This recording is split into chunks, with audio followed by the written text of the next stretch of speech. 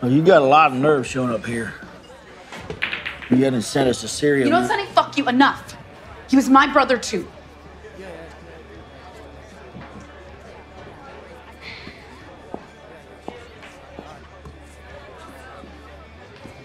And for whatever it is worth, I never stopped looking for the truth on Mali.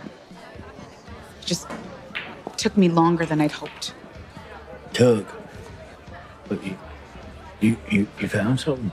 Pulled a few strings and I finally got my hands on the unredacted op files.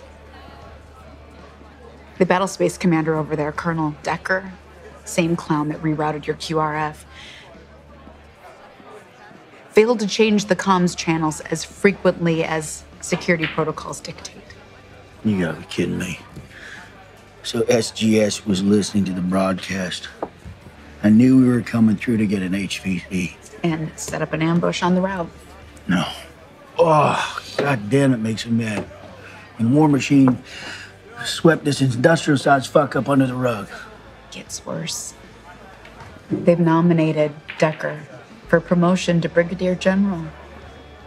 Lay six feet in the ground because of him, and he's getting a, a star on his collar.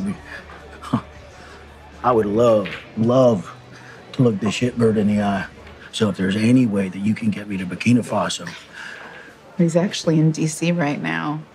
He's uh, pressing congressional flesh ahead of the vote on his promotion, and I am willing to make waves to hold Decker accountable.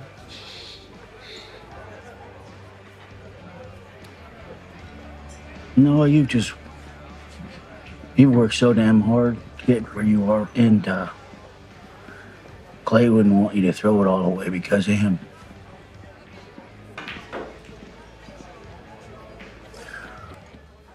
What he would want, he'd want you to be with Robert right now and dose to his name. Come on. You sure? Couldn't do without you. Hell,